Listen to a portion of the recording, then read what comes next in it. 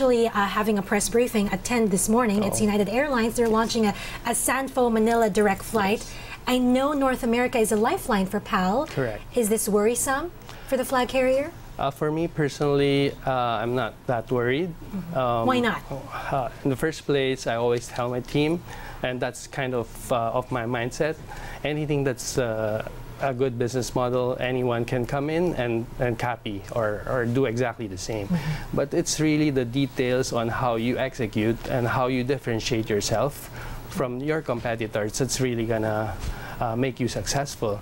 So having said that, we've been trying to improve on our products. Um, even the older planes, we're going to have a program to refurbish, and we- we're ordering new planes, and we're going to have a CRM system as well, uh, which will. Uh, which will start next week, and then um, so we will have a better uh, view of what our customers need and want.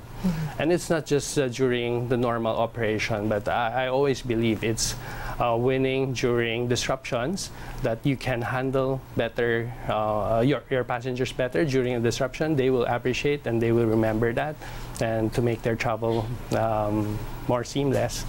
And you think PAL performed well during a moment of disruption? Yes, uh, so uh, we're definitely have a lot of room to grow. However, we're we're investing in technologies to have more visibility, as well as uh, even the contact center. We we grew the co- contact center from from one supplier. Now we have three suppliers who have a kind of a backup, just to be able to service our passengers well.